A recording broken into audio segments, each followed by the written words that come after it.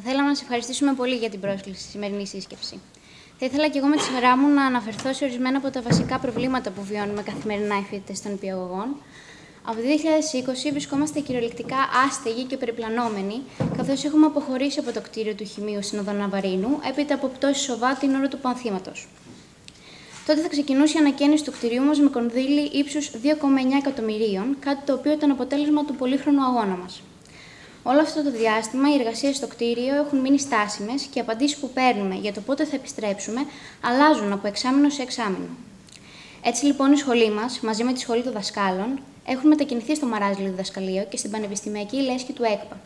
Και εκεί όμως δεν υπάρχουν πανεπιστημιακές αίθουσες, αφού κάνουμε μαθήματα μέχρι και στον κινηματογράφο Ήρεβα.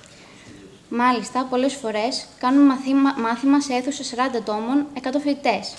Δεν υπάρχει καμία μέρημνα για την ασφαλειά μας. Φανταστείτε ότι ακόμα μια αλλαγή τζαμαρία που έσπασε το προηγούμενο εξάμεινο δεν έχει αποκατασταθεί ακόμη παρά τη συνεχή κινητοποίηση και παρεμβάσεις μας. Δυστυχώς όμως δεν τελειώνουν εκεί τα πράγματα.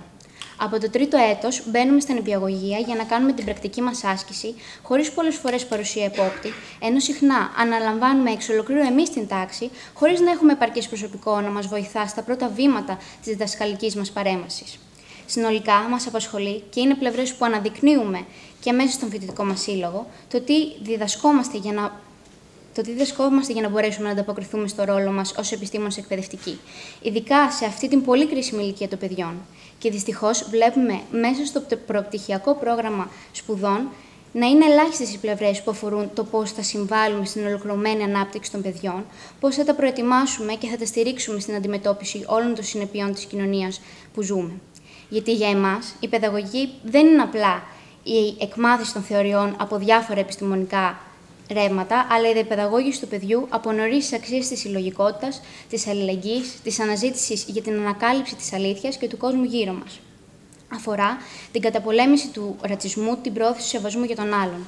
Αφορά την προετοιμασία μας για να μπορέσουμε να μιλάμε στα παιδιά μας για τον πόλεμο, για το γεγονός ότι σήμερα ένα παιδί στην Ελλάδα πηγαίνει στο σχολείο, αλλά ταυτόχρονα υπάρχουν άλλα παιδιά στον κόσμο, όπως στην Παλαιστίνη, που λόγω του πολέμου τα σχολεία τους βομβαρδίζονται.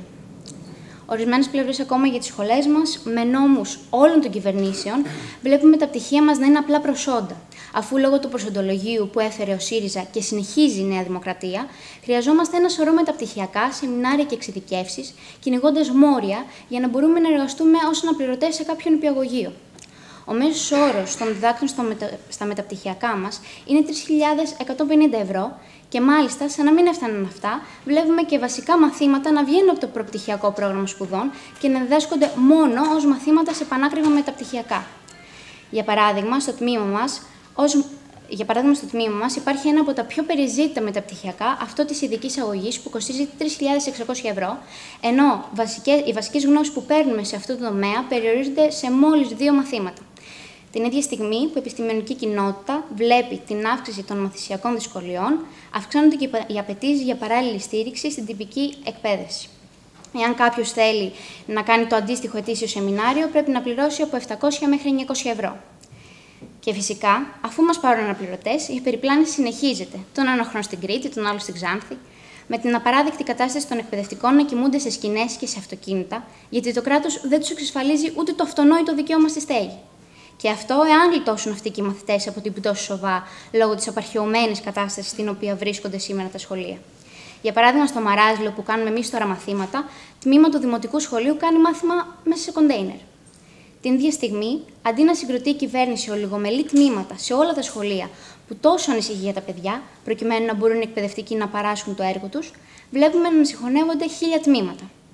Όμως, οι εικόνες των εκπαιδευτικών μαζί με τους γονείς και τους μαθητές που διεκδικούν ένα σχολείο με βάσει ανάγκες, που διεκδικούν να μην κλείσει κανένα τμήμα ταυτόχρονα με μαζικές προσλήψεις προσωπικού, μας δίνει δύναμη και κουράγιο. Σας ευχαριστώ.